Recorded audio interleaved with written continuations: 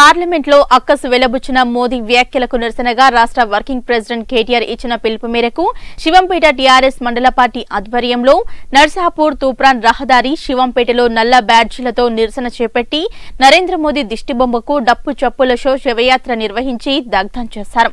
ఈ సందర్భంగా MPP Harikrishna party అధ్యక్షులు రమణాగౌడ్ గ్రంథాలయ సంస్థ చైర్మన్ చంద్రగౌడ్లు మాట్లాడుతూ తెలంగాణ రాష్ట్రంలో అభివృద్ధిని జీర్ణించుకోలేక తెలంగాణపై ఉన్న వ్యతిరేక విధానాన్ని బయటపెట్టారని తెలిపారు.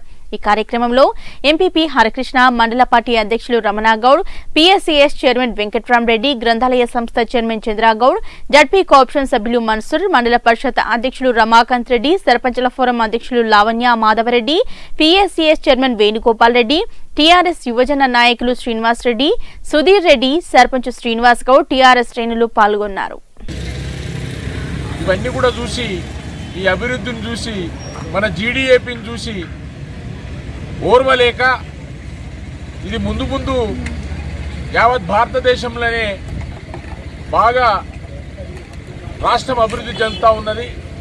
అదేవిధంగా మా ఆదినాయకుడు ఏదైతే కేసీఆర్ గారు ఉన్నారో ఆయన యావత్ భారతదేశంలో తిరిగి మరి మమ్మల్ని కౌంట్ డౌన్ చేసేటువంటి పరిస్థితి ఏర్పడుతుందనే దురుద్దేశంతోనే కేసీఆర్ గారిని దృష్టిలో పెట్టుకొని తెలంగాణ మీద ఆయనకున్నటువంటి అక్కస్ ఏదైతున్నదో దుర్మార్గమైన బుద్ధి అయితే ఏదైతున్నదో దాన్ని వెలగక్కడం జరిగింది. మీ బీజేపీ ప్రభుత్వం వచ్చిన తర్వాతనే ఏడు రాష్ట్రాలను తీసుకోవడం జరిగింది. ఏడు మండలాలను తీసుకోవడం జరిగింది. మరి దుర్మార్గమైన బుద్ధి మీ యొక్క మూర్ఖత్వమైనటువంటి విధి విధానాలతోనే ఈరోజు మరి ఈరోజు తెలంగాణకు రావాల్సినటువంటి ఒక్క జాతీయ హోదా కూడా ఇయ్యలే. ఒక్క ప్రాజెక్టు కూడా ఒక పైసా ఇయ్యలే. అటు కాళేశ్వరం కానీ అటు ఎన్ని ప్రాజెక్టులు ఈరోజు నిర్మాణం చేస్తూ ఉన్నారు?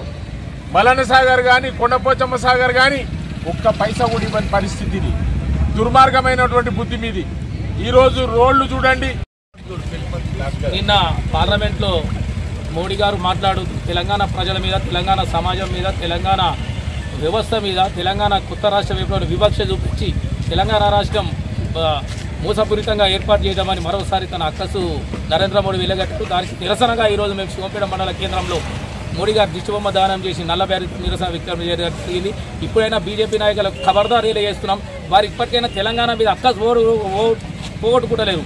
వాళ్ళకు జీర్ణించుకోలేకపోతున్నారు. తెలంగాణ తెలంగాణ అభివృద్ధి పదంలో సాగుతుంటే వాళ్ళకు అక్కసును పార్లమెంట్ ద్వారా స్వయంగా ప్రధాన బోర్డే పార్లమెంట్ ద్వారా ప్రజాస్వామ్యయుతంగా ఏర్పడిన తెలంగాణ మీద అక్కసు వెలగడం నిజంగా సూచన ఈ విషయాన్ని మేము తీవ్రంగా ఖండిస్తున్నాం.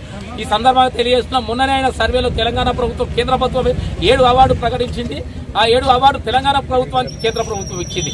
ఆ మరుసటి రోజే పార్లమెంట్లో నరేంద్ర మోడీ గారు ఈ విధంగా తెలంగాణ మీద అక్కసు వెలగక నిజంగా బీజేపీ నాయకులకు సిగ్గుచేటనే విషయం మీద మన సందర్భంగా తెలియజేస్తూ మరొక్కసారి తెలంగాణ విషయం విషయంపై కేంద్ర ప్రభుత్వం కానీ నరేంద్ర మోడీ కానీ కేంద్ర మంత్రులు కానీ రాష్ట్ర బీజేపీ నాయకులు కానీ ఏ విధంగా మాట్లాడినా వాళ్ళని ఈ రాష్ట్రం నుంచి తెలంగాణ రాష్ట్రంలో జీవించే హక్కు లేదు. తెలంగాణ రాష్ట్రం నుంచి బీజేపీ నాయకులను తరిమి కొడదామని తెలియజేస్తూ మరొకసారి వారికి తెలియజేస్తూ జై తెలంగాణ!